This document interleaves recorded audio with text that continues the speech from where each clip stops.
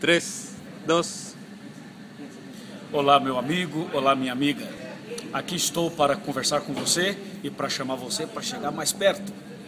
Cada dia nós temos dado uma mensagem de vida e de esperança para você. Hoje eu quero falar sobre a fé.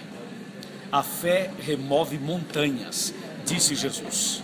Agora, como se faz para ter fé? A fé vem pelo ouvir e ouvir a palavra de Deus.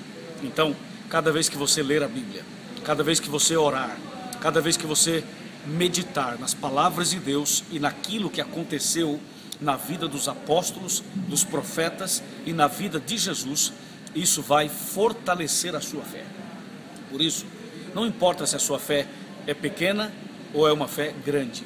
Jesus disse que a fé pode ser do tamanho de um grão de mostarda.